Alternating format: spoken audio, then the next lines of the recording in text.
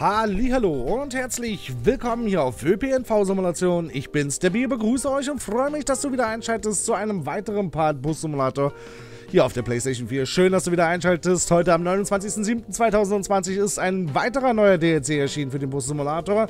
Dieser kostet 5,99 Euro und ist auf Steam erhältlich, auf der Playstation 4 und selbstverständlich auch der Xbox One und hört auf den Namen Mercedes Bus Pack 1 DLC. Und mitgeliefert werden hier drei Busse, die wir uns jetzt natürlich hier anschauen werden. An der Stelle nochmal ein großes, großes, großes Dankeschön an Astragon, die uns den Key hier bereitgestellt haben, damit wir euch diesen DLC hier vorstellen dürfen. Großes, großes Dankeschön für euer Vertrauen. Und von daher würde ich sagen, wir legen los, schauen uns jetzt äh, die drei Busse an, die jetzt nämlich neu mit dazu gekommen sind. Und von daher los! Da haben wir den Mercedes Carpet City. Der ist 19,725 Meter lang, breit 2,55 Meter und hoch 3,12 Meter. Vier Achsen, fünf Türen. Ingame-Preis 450.000. Der Capacity L. 20,99 Meter lang, 2,55 Meter breit, 3,12 Meter hoch. Fünf Türen, vier Achsen, Ingame-Preis 480.000. Und zu guter Letzt haben wir noch den Citaro O530. 12 Meter lang, 2,5 Meter breit und 3 Meter hoch. Drei Türen, zwei Achsen, Ingame-Preis 150.000. Das sind die neuen Fahrzeuge, die jetzt im Bus-Simulator verfügbar sind. Und dementsprechend werden wir uns diese drei Fahrzeuge jetzt hier in dieser Folge anschauen. Von daher, ja, gehen wir mal zum Streckenplaner und holen uns unsere Tour, die ich dafür eins gebastelt habe, nämlich den Mercedes DLC Tour. Spektakulär, oder? So, wählen wir hier schnell noch unseren Bus aus, den wir hier brauchen. Wir fangen erstmal mit dem Capacity an, würde ich sagen. Mit dem normalen. Oder machen wir... Doch, normal, ne? Machen wir erstmal normal. Und arbeiten uns dann bis zum O530 durch. Da haben wir ihn. So, Schnellstart, Fahrschädenverkauf aus. Los geht's. Ja. So. Bevor wir es vergessen, ähm, da haben wir ihn. Das ist er. Der Capacity von Mercedes auf der Linie 84 Mercedes DLC. Und ihr seht schon, ne, der ist schon ordentlich lang. Fünf Türen natürlich richtig groß, ja. Also da können schnell die Leute ein- und aussteigen die Sitzplätze hier und viel, viel Platz für Kinderwagen, Rollstuhlfahrer. So muss das sein. Ja, auch nochmal, ne? Könnte man auch als Gepäckablage zum Beispiel benutzen oder sowas. Aber von den Texturen her sieht das richtig, richtig gut aus. Also das kann sich mehr als sehen lassen. Bin ja sowieso ein großer Mercedes-Fan hier im Bus-Simulator. So, in, an anderen Spielen mag ich jetzt äh, Mercedes jetzt nicht so. Ja, der O530, also der klassische O530, großartiger Bus. Ja, aber so die neueren Modelle nicht. Aber hier im Bus Simulator muss ich sagen, ist das mein Lieblingsfabrikat hier. Ne? Also, wenn ich hier irgendwie was fahre, dann meistens immer mit Mercedes. Deswegen freut es mich natürlich umso mehr, dass hier ein neuer DLC erschienen ist. Wo man sich ein bisschen dran gewöhnen muss, sind tatsächlich die Bremsen. Die sind nochmal so ein bisschen gewöhnungsbedürftig. Bremsen gefühlt ein bisschen schwächer. Wird wahrscheinlich daran liegen, weil er hinten nochmal ordentlich schiebt oder sowas. Aber so sieht er halt aus. Kleinere Probleme sind hier zum Beispiel aufgefallen, jetzt hier mit dem Display, ne, das flackert. Das kennen wir natürlich schon von anderen DLCs. Ähm, wenn man sich mal so, ich glaube, der, ich weiß gar nicht mehr, welcher, bei MAN war das Problem halt auch schon gewesen, dass der halt so ein bisschen geflackert hat immer. Aber gut, stört jetzt halt nicht massiv, ne? Also das wollen wir mal lassen.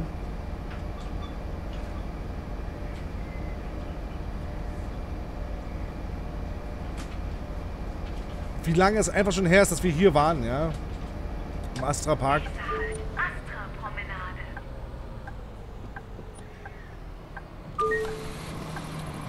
So, Fenster können wir auch aufmachen. Funktioniert. Wir können hier Radio anmachen. Ne? Mache ich jetzt mal nicht. Und sonst äh, viele Schalter. Die leider ohne Funktion sind.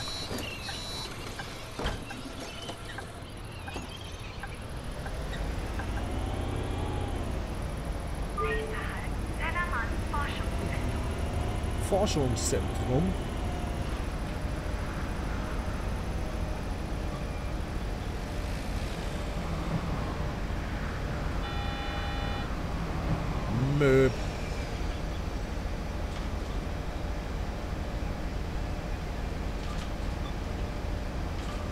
So fahren wir dann unsere Tour.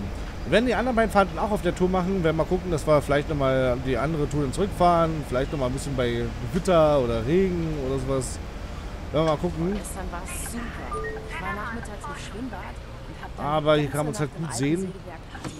Du Glückspilz. Ich musste gestern arbeiten.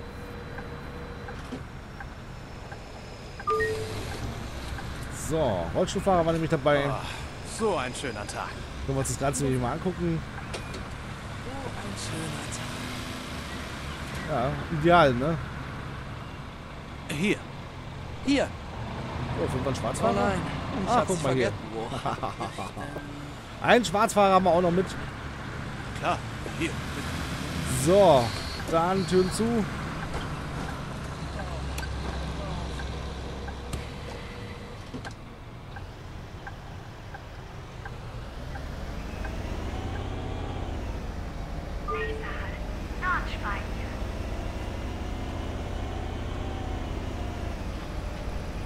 Nordspeicher. Zum Glück habe ich den Bus noch erwischt. Moment mal. Ist das überhaupt der richtige Bus? Tja, das weiß ich leider nicht, ob das der richtige ist. Ja, die Katze ist auch die gleiche, da hat sich auch nichts verändert, ne?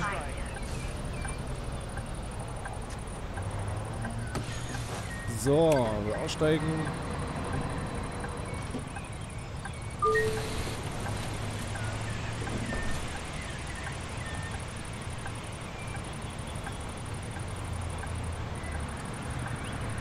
So, steigt, da- steigt noch wer ein?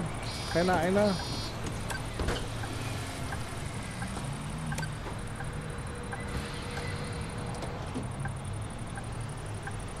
Na, ja, kommen wir weiter.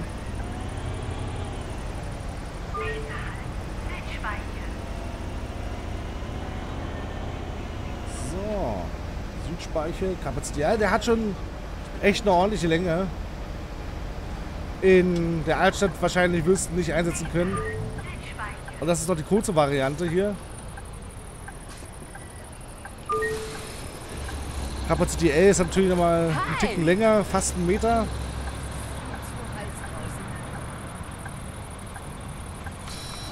Und das Ding dann halt da durch die Altstadt. Hui, da könnte man eine Challenge draus machen.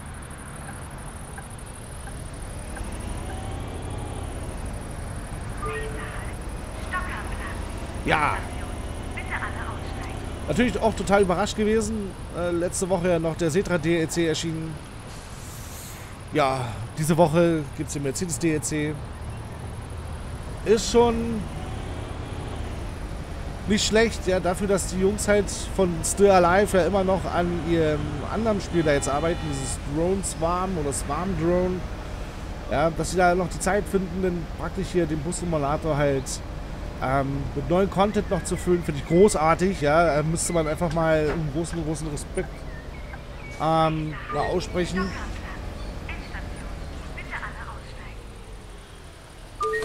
Dass halt da wirklich noch neuer Content kommt. Wiederholung von Staffel 15 von Winter der Leidenschaft Wiedersehen. hat so viel von der aktuellen Handlung.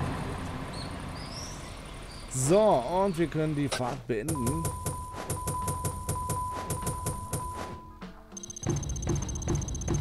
Nichts anderes erwartet als 5 Sterne. so, gehen wir zum nächsten Bus. Und jetzt würde ich sagen, schauen wir uns den O530 an. Und zwar beim regnerischen Tag. Erstmal wieder durch unsere ganzen Busse hier durch. Das ist so eine Mischung jetzt, äh, der O530 zwischen ja, dem Mercedes K, ne?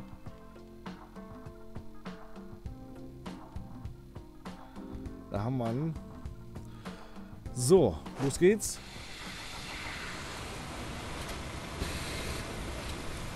So sieht er auf jeden Fall aus. Wenn wir hier gucken. Ne? Wie gesagt, drei Türen, zwei Achsen, kleiner Bus, den kannst du für die City ganz gut nehmen. Ne? Und sonst sieht er halt so aus. Großer Spiegel. Hier hast du Platz, ne? Für unsere. Ne, hier hast du Rollstuhlfahrer. Jetzt hast du hier noch ein paar Stehplätze. Natürlich alles wieder mit Mercedes äh, lizenziert hier. Das äh, ist schon mal sehr löblich. Und auch schön zu sehen, ja, dass hier Originallizenzen dabei sind.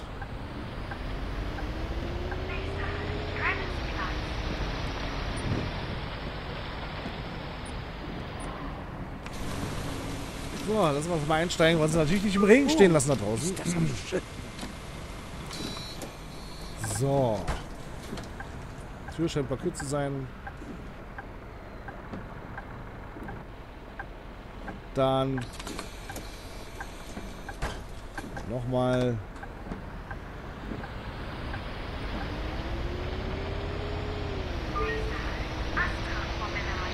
Astra-Promenade.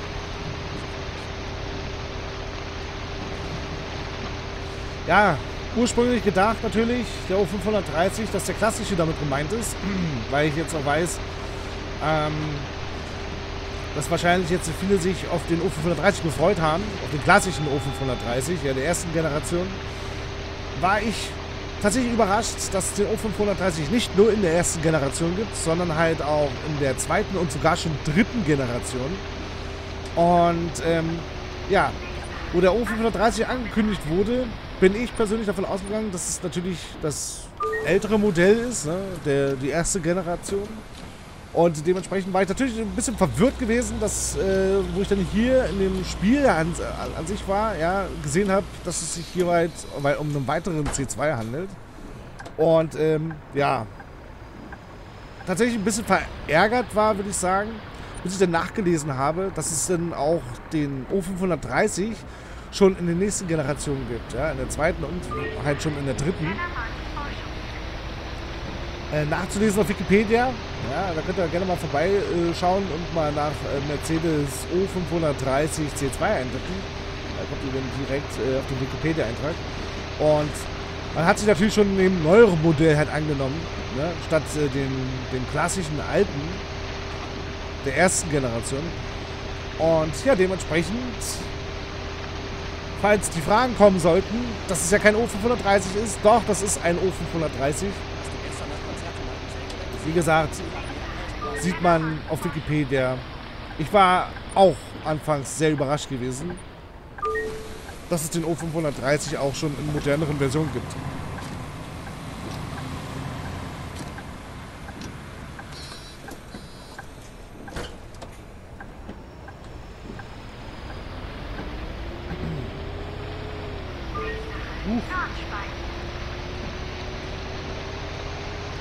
Nordspeiche. Aber fährt sich halt angenehm, ne? Da kann man nichts Gegenteiliges zu sagen. Ich glaube, so kleinere Mercedes-Busse gibt es gar nicht, ne? Groß. Ist ja bloß der Citaro K. Das gar nicht. Ob es da noch eine größere Variante gibt, Formgelenk?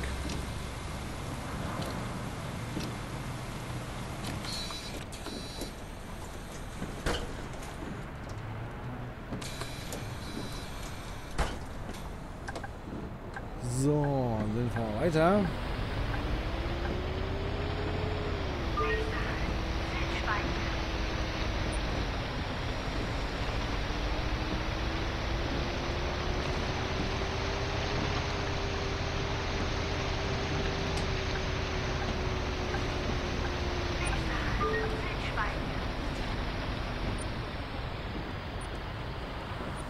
So. Was hältst du davon, wenn wir morgen zum Strand fahren? Uhr frei. Oh, das klingt ziemlich gut, aber ich muss erst mal schauen, ob ich in meinen Badeanzug passe.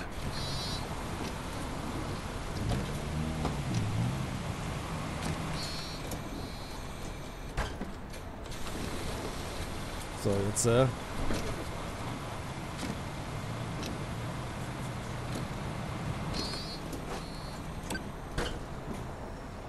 Bin zu schnell.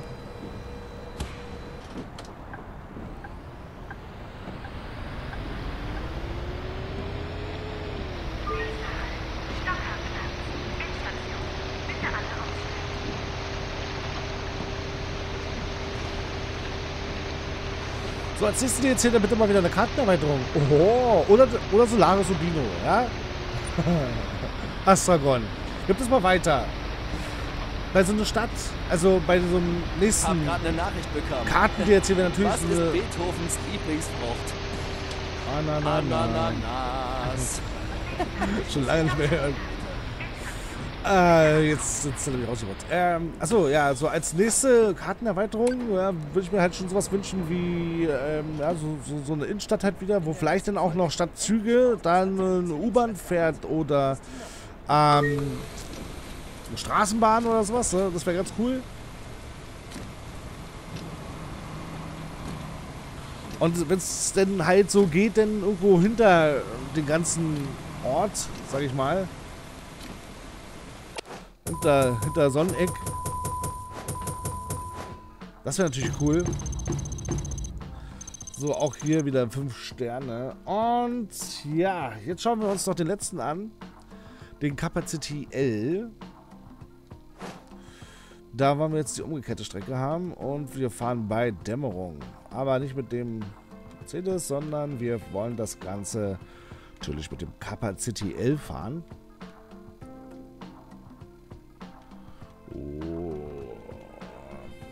Aber ich muss da im Livestream mir mal die Zeit nehmen, so für eine Stunde und den Bus-Simulator spielen. So, sonst, wie gesagt, von draußen brauchen wir uns nicht mehr angucken und ihr seht, ne, das ist halt wirklich ein Riesenteil. Ich selbst, wie gesagt, noch nicht mitgefahren. Ich, ich saß noch nie in so einem Bus drin. Allgemein, glaube in so einem C2. Ich bin schon so lange kein Bus mehr gefahren. Aber das ist wirklich hier auch wieder, wie gesagt, diese riesen Flächen, ja, wo du halt einfach alles hinstellen kannst. Und schon fantastisch, ja. So. Vorwärtsgang.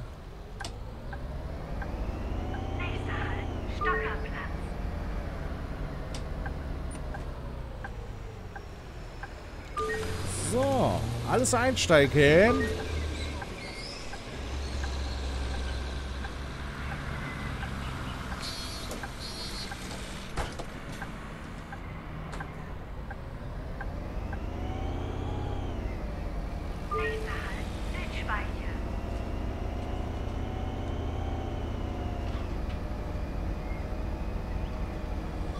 Südspeiche.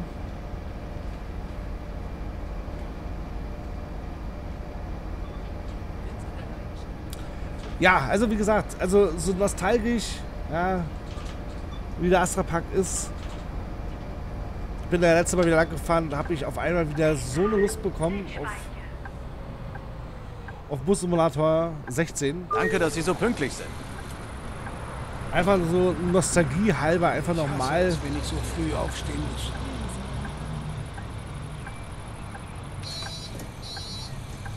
Aber ich glaube, das würde sich halt heute keiner mehr angucken. Den Bus Simulator 16 Nächster Halt, Nordspeicher. schön durch Sunny Springs da hier nochmal durchfahren, denn Was hältst du davon, wenn wir morgen zum Strand fahren? Ich habe ab 4 Uhr frei. Hm, das klingt ziemlich gut. Aber ich muss erst mal schauen, ob ich noch in meinen Badeanzug passe. Ja, wie gesagt, schade halt auch, dass es halt beim Bus Simulator 16, Das aber gab es nur. MAN und Mercedes-Lizenz, ne? Ich glaube, der Rest war ja dann so eine fiktive Busmarke gewesen, die es halt in Wirklichkeit so nicht gab. Ja, und sonst aber Sunny Springs, toller Ort gewesen. Damit fing alles an mit dem Bus-Simulator. Meiner Meinung nach. Ja. Auf jeden Fall werden wir uns ab morgen erstmal zwei DLCs angucken vom Bus Simulator 18. Ja, also wenn ihr mal so ein paar PC-Mods sehen möchtet, dann solltet ihr einschalten. Wie gesagt, morgen um 6 geht's los, dann kommt Freitag die nächste Folge. Würde mich natürlich freuen, wenn ihr da mal vorbeischaut. So ein bisschen für den Bus-Simulator halt interessiert, so, ne? Wäre natürlich mega, mega nice. Du kommst zur Party im alten Sägewerk, oder? Na klar.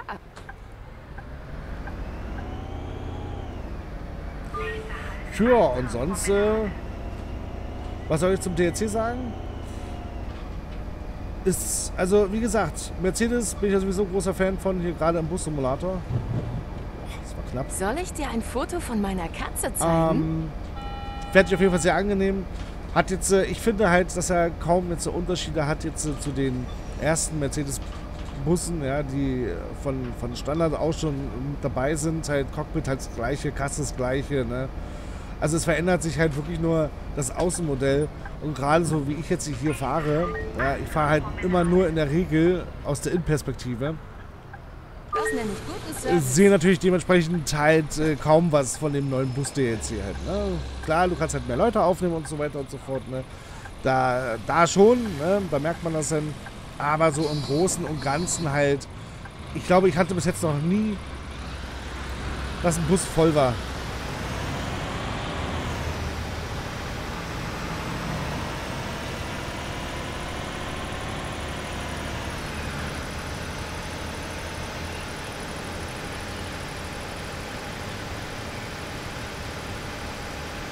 So, da kommt der schöne Blitzer.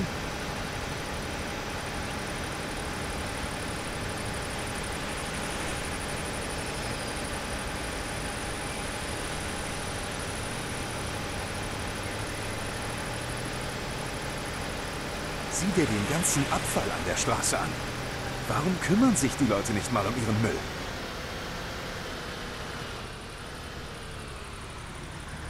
Parken in Perfektion. Ja, das lob ich mir. Ja, und sonst seht ihr selbst. Das ist auf jeden Fall der neue DLC, der jetzt, wie gesagt, für den PC, der PlayStation 4 und der Xbox One erhältlich ist. 5,99 Euro, wie gesagt, im jeweiligen Store. Ja, ob jetzt ein PlayStation, Xbox oder halt bei Steam. Ihr euch das Ganze kaufen. Erweitert, wie gesagt, den Bus-Simulator um drei weitere Busmodelle. Und somit ähm, entsteht doch schon langsam eine ganz große, eine große Sammlung jetzt hier im Bus-Simulator, wenn man mal überlegt, was da jetzt schon alles verfügbar ist. Wie gesagt, letzte Woche die beiden Setra DLCs, diese Woche die drei Mercedes. Mal gucken, was uns nächste Woche erwartet, ne? Halten euch natürlich auf dem Laufenden, ne? falls da neue Informationen gibt rund um den Bussimulator bei uns in den ÖPNV-News. Ja, bedanke ich mich natürlich, dass ihr dabei wart. Wenn euch das Video gefallen hat, lasst mir gerne ein Like da. Schreibt es gerne in die Kommentare, wenn euch Fehler aufgefallen sind. Äh, dann nutzt da die Funktion. Astragon wird sich das bestimmt nochmal angucken und wird sich das Ganze durchlesen. Ja, vielleicht kann man das eine oder andere eventuell weitergeben. Und sonst, äh, ja, bedanke ich mich, dass ihr dabei wart und wünsche euch noch einen schönen Tag. Wir sehen uns zum nächsten Mal wieder. Bis denn. Tschüss.